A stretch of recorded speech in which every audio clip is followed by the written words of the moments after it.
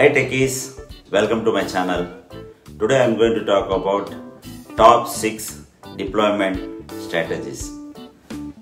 In this video, you are going to understand the basic knowledge of deployment strategies, okay, and the uses of deployment strategies.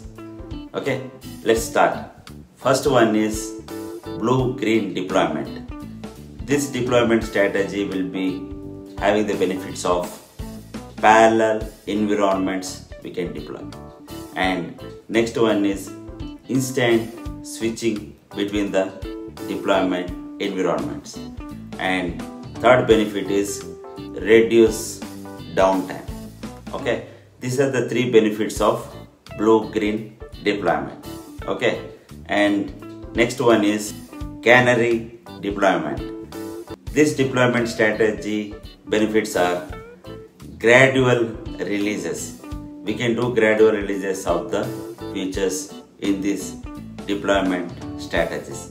Next benefit is real-time monitoring.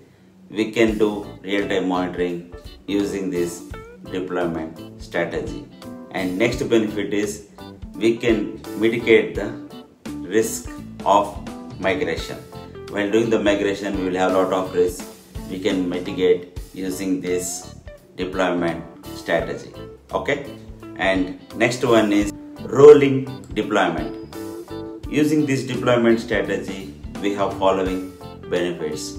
The first one is incremental updates, and next one is continuous availability, and next benefit is minimal service disruption. Okay, these are the three benefits of rolling deployment strategy. Okay, and next one is feature flags deployment strategy. Using this deployment strategy, we will have following benefits. The first one is dynamic feature control. Dynamically, we can control the future deployments. Okay, and next one is risk isolation. We can isolate the risk using this deployment strategy. Next one is on the fly configuration. We can do on the fly configuration of the deployments using this deployment strategy. Okay. Next one is A-B testing. Using this deployment strategy, we can get following benefits. The first one is user segmentation. We can have different user segmentations in this deployment strategy. And next benefit is performance evaluation. We can evaluate the performance of the deployment environments using this deployment strategy. And next benefit is data driven decision making.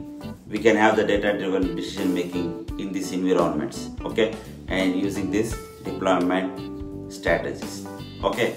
And next deployment strategy is shadow deployment. The benefits of this deployment strategy is the first one is silent testing. Silent testing is a very good feature of this deployment strategy. The next benefit of this deployment strategy is performance monitoring. And next one is real world simulations. Okay, these are the three benefits of shadow deployment.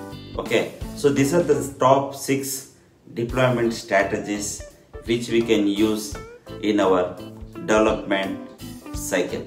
Okay, and I hope you got the benefits of all deployment strategies.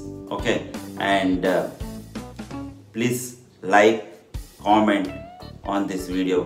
Okay, and share with your friends for more knowledge. Okay, please subscribe to my channel. Okay, I will come up with new tech videos. Okay, see you soon.